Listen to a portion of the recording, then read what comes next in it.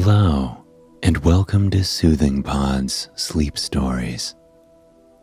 My name is Arif, and tonight I will be your guide as we journey to the mysterious, fog shrouded glen of Sleepy Hollow. There, we will follow Ichabod Crane as he becomes a part of the strange and wondrous community makes friends with the locals, settles in to hear the ghost stories and folklore about the town, and even falls in love with a stunning, wealthy woman. Before we journey through the mist and dark forests to reach the glen of Sleepy Hollow, let us take a moment to unwind and find comfort in the place that we are in, here and now. Close your eyes and allow your body to sink into the surface beneath you. Here and now, there are no obligations. There is no to do list. By simply closing your eyes and listening to the sound of my voice by simply joining me on this cozy journey to Sleepy Hollow. You are already giving your body the rest that it needs. Anything else you are seeking will come soon after. By closing your eyes and relaxing fully in the comfort of your bed. You are giving your body much needed nourishment. With your eyes closed, allow your body to sink deeper into the mattress beneath you. Feel the comfort of your plush bed Notice where it is in contact with your body. Feel how it cradles your legs, your back, your arms, and relish in how wonderful it feels to just be in a cozy, comfortable bed. Notice how the pillow gives your head a soft place to rest. How it helps smooth out and relax any heavy thoughts or weight you may have been carrying throughout the day. For a moment, let us pretend that your bed is not in your room. Instead, it is deep within a beautiful and lush forest. And tonight is the kind of night that you only stumble upon if you are lucky. The moon is full and heavy, a perfect circle hovering high overhead. It's so big that you can make out the craters and mountains peppering its surface. It seems close enough to touch, like you could reach your fingers out from under your blanket and pluck it from the sky, twirling it in your palm like it is nothing but a marble. That beautiful full moon casts a silver glow over everything that it touches, bathing the entire landscape in an ethereal light. Your gaze drifts down from the full moon and the stars flanking it, and instead takes in the forest around you. It is a lush and vibrant forest with trees as far as the eye can see. There's a brilliant mix of maple, pine, cedar, and oak, and even some tall elms, which look almost as if they are brushing right up against the moon. All of their leaves dance in the gentle breeze that is lacing through the forest, flickering from a dark green to that shimmery, shining silver, depending on which way the wind blows at them. In the leaves of one of the tallest trees, there is an owl nestled in the thick branches. Its tawny coat glows, each speck of brown and black and snow white, glistening with every breath that it takes. It ruffles its feathers as it gazes down at you with its big, wide eyes. Eyes that are as big and bright as the moon. In its eyes, you see wisdom, and in its gaze, you feel safe. It tilts its head slightly at you, as if it's wondering what has brought you to this forest tonight. It shakes its feathers off a bit, fluffing them up as a cool breeze picks up and brushes over the branch it is roosting on. Each feather dances in the wind, so fluffy and delicate that they don't even seem real. You wonder how something so smooth and soft could keep a creature like the owl afloat. And soon you see how well they do.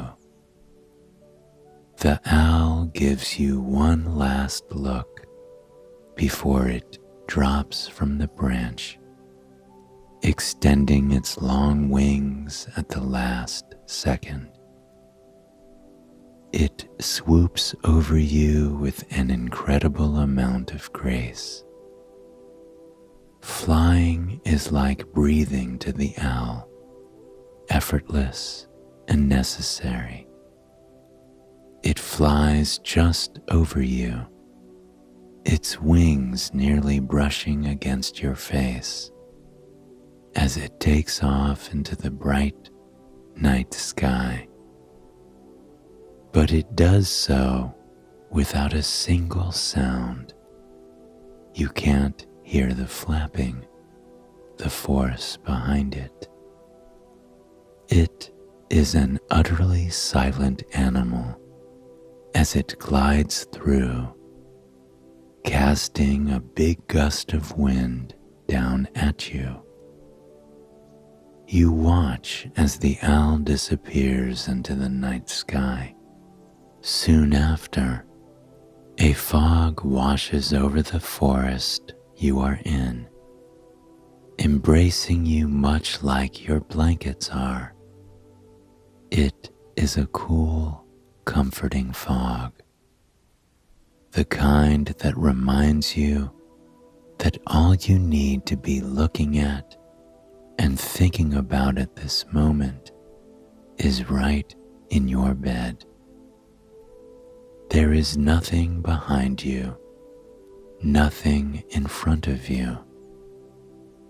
You are giving yourself freedom and permission to simply be, to let the fog embrace you and give you some time to relax and unwind. Now that we have taken the time to relax, and find comfort in the place that we are in here and now. Let us begin our journey to the mysterious valley called Sleepy Hollow. The year was 1790, and the town was unlike any other in the country at the time. Tarrytown was a small, quiet Dutch settlement tucked away in a secluded glen called Sleepy Hollow. And, indeed, the town was rather sleepy. The forests within the glen seemed to be deeper, darker, and thicker than anywhere else in the country. One could get lost in them with ease, and there was a sense of mystery that washed over anyone who dared to enter it. The forests were often coated in a thick layer of fog, a layer of fog that blanketed the ground and wrapped around the trees, covering the pine needle coated forest floor with ease. Walking through the fog of Sleepy Hollow was like walking in a dream. Every turn seemed stranger and more impossible than the last, and everything felt oddly familiar, yet indistinguishable from the last. Wading through the fog felt like wading through a glassy sea with no idea when you would reach the shore. But it wasn't just the thick fog that seemed to perpetually blanket the glen of Sleepy Hollow that made it feel otherworldly and strange. Nor was it the vast, dark forests the trees in Sleepy Hollow seemed to creak more ominously and loudly than anywhere else in the world. It was as though the trees were trying to speak to the world, as if they were whispering long forgotten stories in every crack, creak, and rustle of their bark and their branches.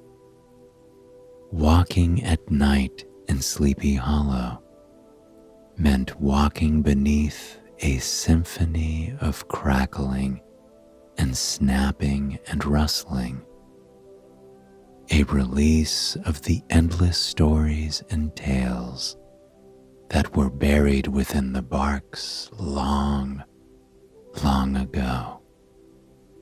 And then there were the owls. It was impossible to pass through the forest any time of night without seeing their eyes peering down at you, following every step that you took through the lush grass and wildflowers woven in between the ancient trees. But the owls did not just stare. On occasion, they would follow people through the trees to keep watch of them. They would silently follow behind, gliding effortlessly from branch to branch as people made their way through the forest. The owls would never attack, nor would they even give people a sour look.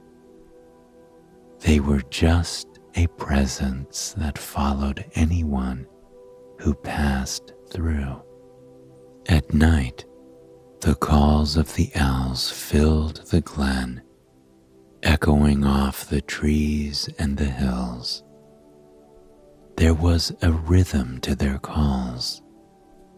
It was a song they played back and forth to one another with sounds that you could never quite remember.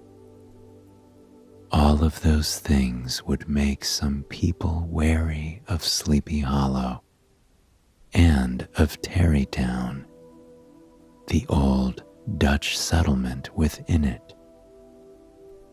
But there was one more thing that put people even more on alert when it came to the town. It was said by everyone who went to the town that it was enchanted. Some believed that long ago, when it was just being formed, the settlement was bewitched by some of the first settlers. Others believed that it had been cursed by natives long before that. And no matter whether people believed it was cursed or not, nearly everyone believed that there was something strange going on with the town. Because the locals not only had to make their way through thick forests of fog, where owls followed them and sang to them, but they saw and heard strange things people claimed to hear voices in the woods, voices that would seemingly come out of the fog and brush against them, sending shivers down their spine. Sometimes, instead of voices, they would hear music, hauntingly beautiful and strange music woodwinds with notes that cut through the fog and danced against their ears, stringed instruments that hummed and shook the ground as they were played, percussion that rumbled like thunder in the far distance. It was as if there was a ghostly orchestra playing a song just for the residents of Tarrytown. People would gather in the mornings and often talk about the music they had heard the night before. It forged an odd sense of connection between the residents of the town. The residents claimed they saw shadowy things as they walked by during all hours of the day and of the night. Some would find themselves in trance like visions that would leave them confused when they awakened. Legends and folklore were exchanged in the town nearly as much as pleas and thank yous were. People wanted to get to the bottom of the mysterious goings on, or, at the very least, they wanted to find a way to explain them away and one of these legends was so famous, people heard about it far and wide. Of all the folk tales and specters that were discussed in the town, none was spoken about as much as the existence of the Headless Horseman. The Headless Horseman was said to be the ghost of a Hessian soldier from long, long ago, a soldier who was hit in the head by a cannon. Apparently, every single night he would ride through the town on his black horse, desperately searching for his head. Some said he wore a pumpkin in place of his head and others said he simply used the collar of a black cloak to hide himself. But either way, the residents of the town swore they could hear him every night, clomping his way through the outskirts of Tarrytown, winding through the thick forests on a desperate quest to find his head. And whether the headless horseman existed or not, it was very clear that something strange was going on.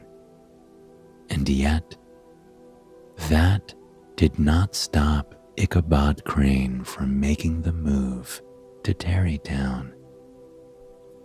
Ichabod Crane was a kind, benevolent, and superstitious man. He had lived many years serving as a schoolmaster in Connecticut, but moved to Sleepy Hollow to become their schoolmaster quite some time before our story begins. Ichabod was a tough teacher who often used discipline but he was still beloved by many of his students.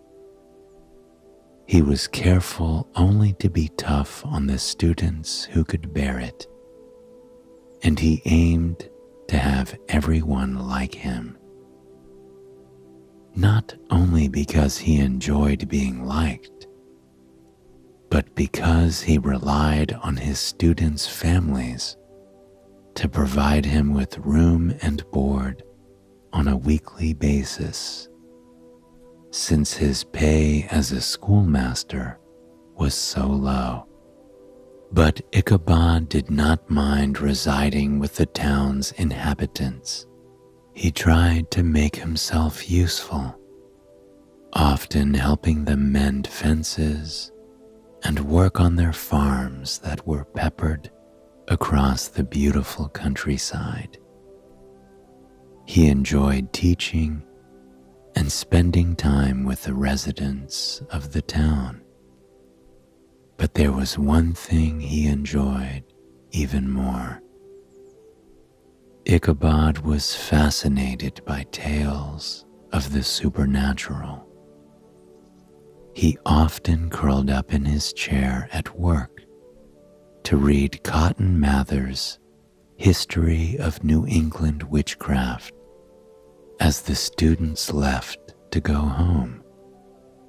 He would read it again and again, savoring the pages with childlike glee and fascination as the last embers crackled in the fireplace beside him.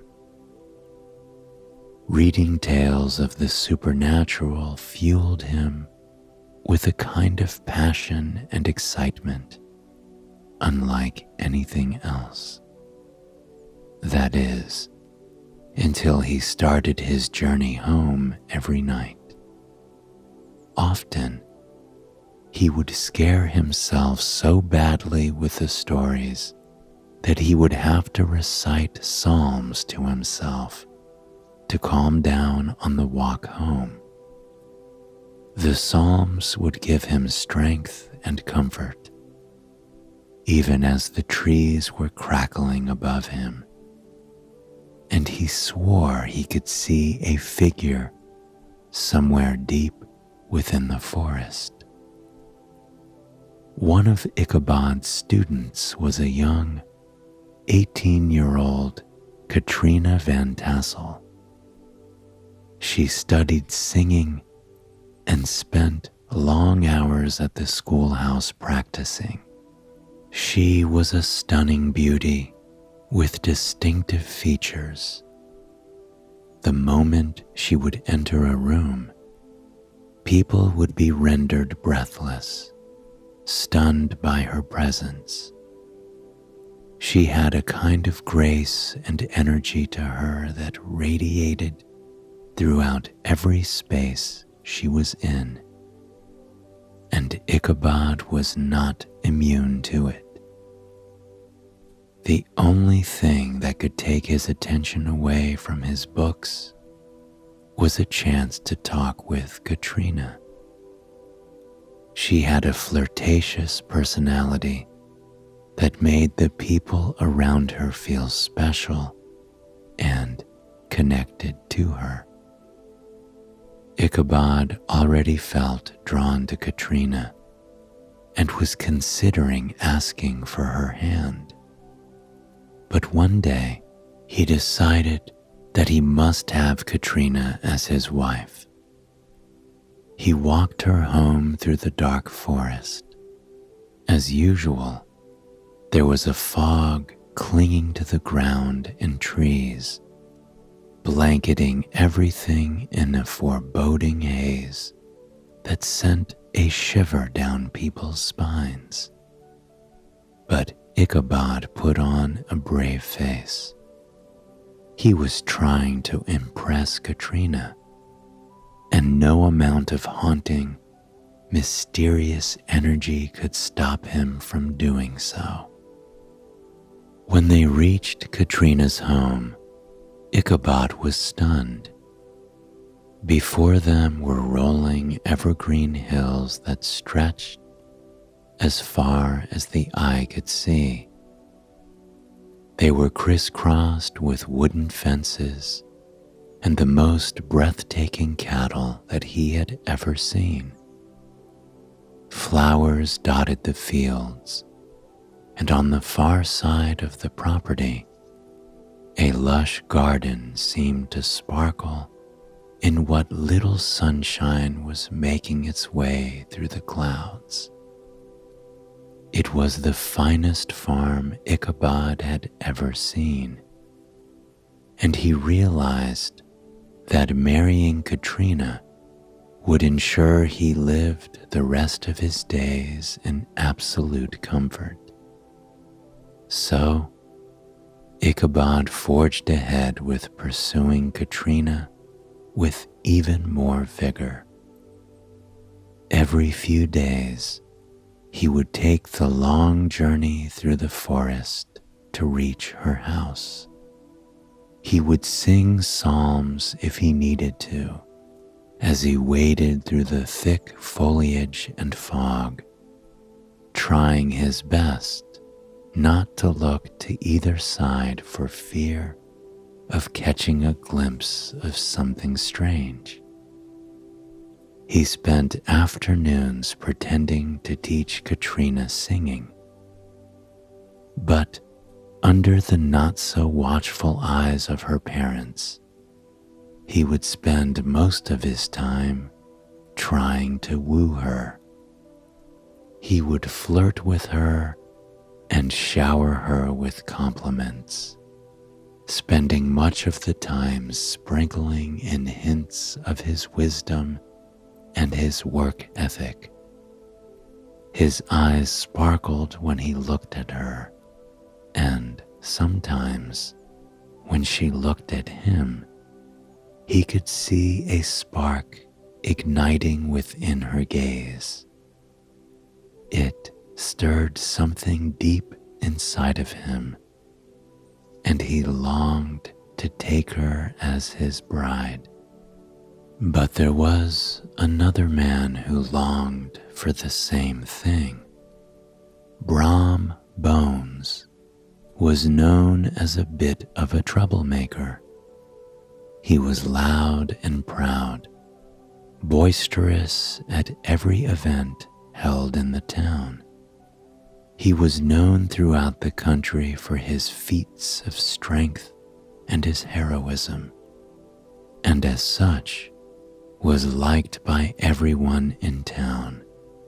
His mischievous energy and overconfidence would have upset some, but his kindness and humor made it nearly impossible to dislike him. He had his pick of women to woo, but Katrina had caught his eye the moment he saw her. Many would have given up if they knew someone like Brom was pursuing the woman they had eyes on.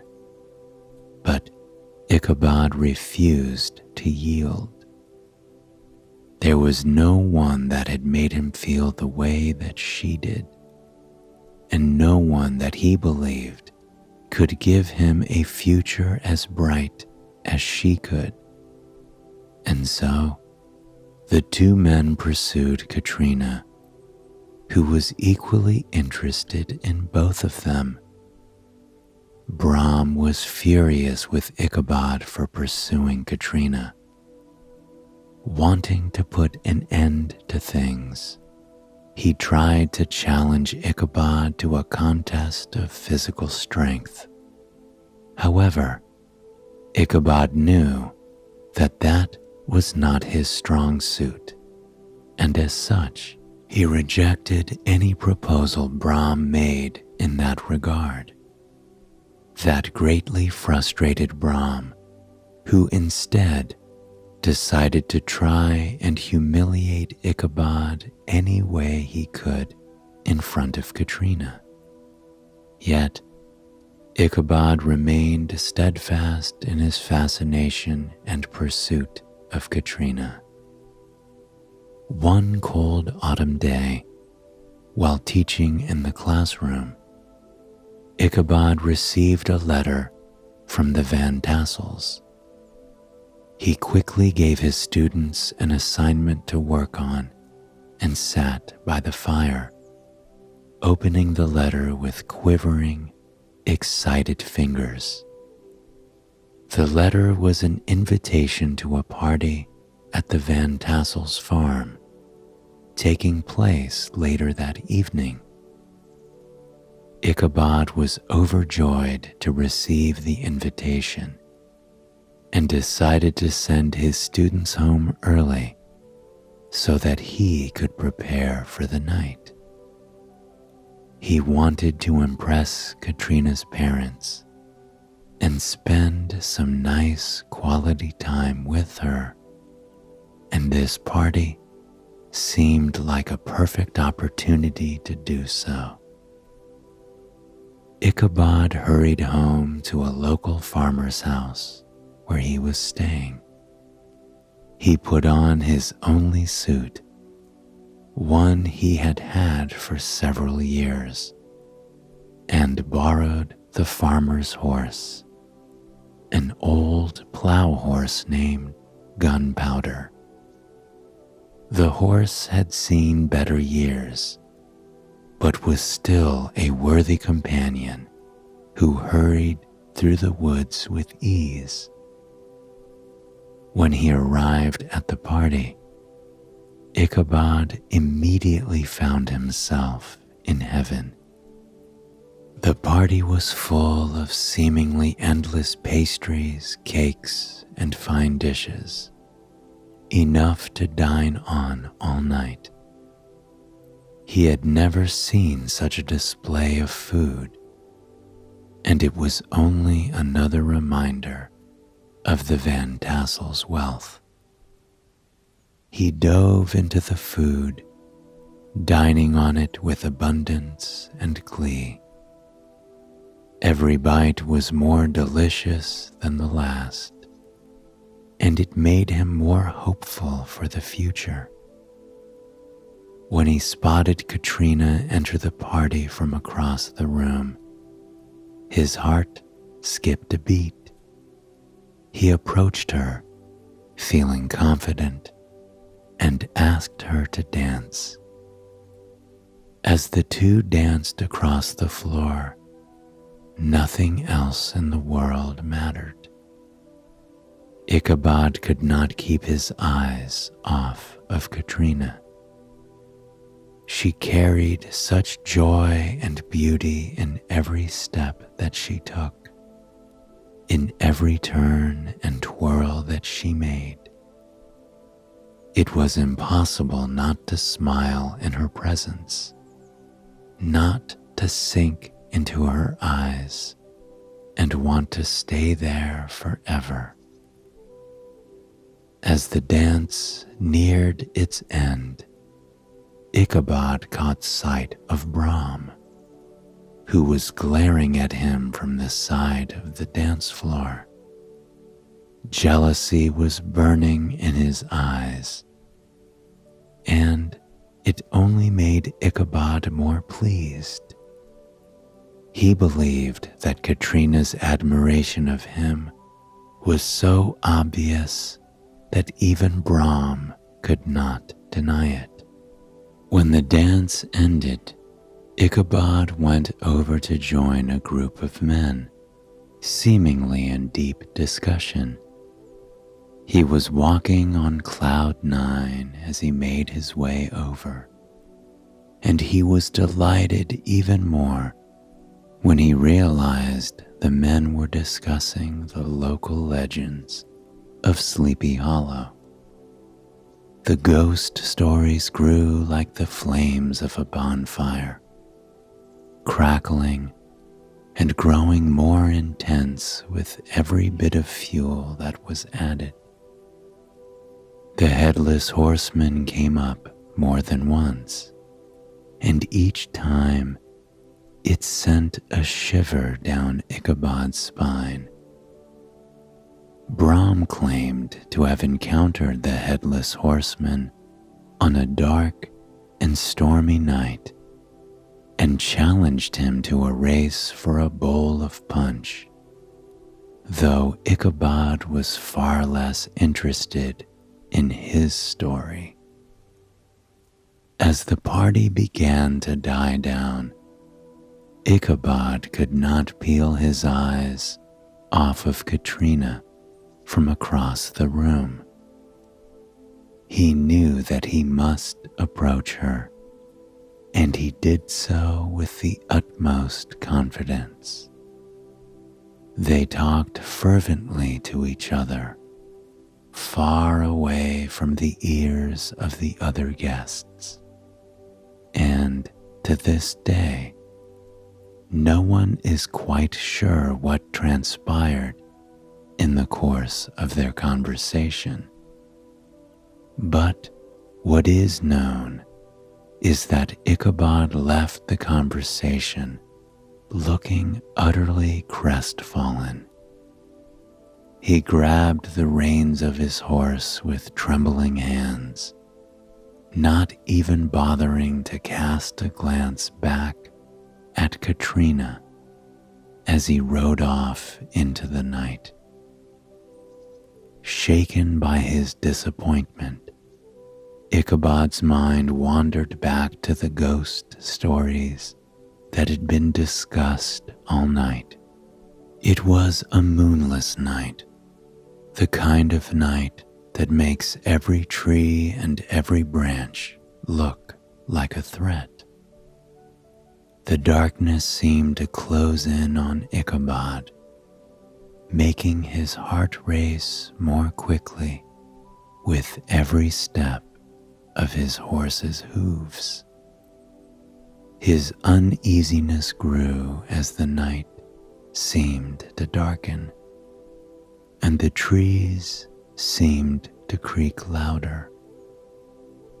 The owls all looked down at him, following him as he made his way deeper into the forest.